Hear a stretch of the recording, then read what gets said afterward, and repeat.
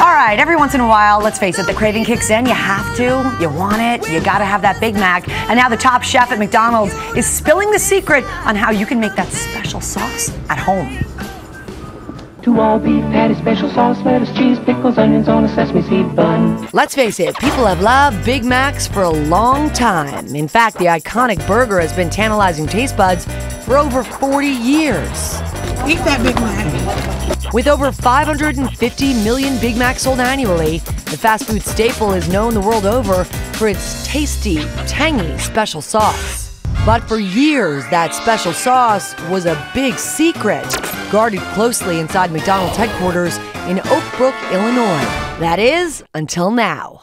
We're going to make a version of the Big Mac with ingredients that are similar that you could buy at your local grocery store. So In a video posted on We're YouTube, gonna mix that McDonald's executive chef Dan Coudreaut takes to the kitchen and finally reveals the makings of one of the fast food industry's best kept secrets. So here we have some store-bought mayonnaise, we have some sweet pickle relish, and then we have a classic yellow mustard.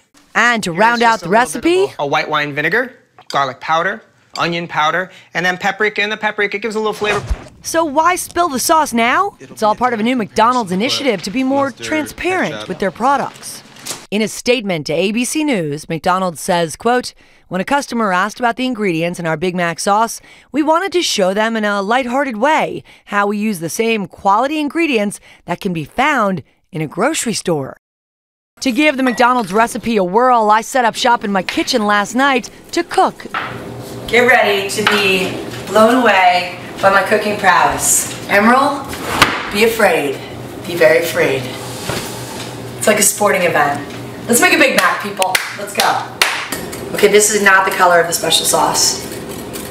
My special sauce um, is yellow. It's not good. Yeah, I mean, this, this is starting to look like it. Oh, yeah. No salt, no pepper. So, just how close did I get to the legend? Two all beef patties, special sauce, lettuce, cheese, pickles, onions on a sesame seed bun. Check. How you like that, McDonald's? So there you go. While McDonald's is craving what they call transparency, it seems the Hamburglar has made off with the exact measurements for the special sauce, leaving you and me to our own devices. And team, I made it. I brought it in for you. It is uh, Excellent. I really, Really good. Yeah. Yeah, it has that same taste. It really does. It really And your does. burgers are bigger than theirs. What, my burger is better? Yeah. Well, what do you know? Take that, Mickey D's. so uh, yeah, it's on YouTube and available. And um, one quick nugget of information, ding. Um, the pink is paprika. That's for uh, color and a little zest. and that is the last time you'll see me cook.